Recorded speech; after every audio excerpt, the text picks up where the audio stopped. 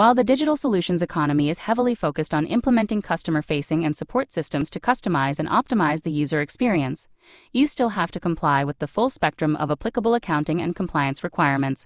For example, revenue recognition mandates in ASC 606 and IFRS 15 must be followed, and DSE adds some new wrinkles to the mix. Your RevRec processes need additional agility to track with complex bundles of products, services, subscriptions, and entitlements while assuring accurate compliance with the accounting standards. In addition, your compliance systems must be designed for high security of customers' personal data and compliance with applicable regulations such as GDPR and others. All of these compliance and revenue recognition activities need to happen behind the scenes from the customer experience and also must be designed to scale and track with dynamic changes that are inherent in the digital solutions economy.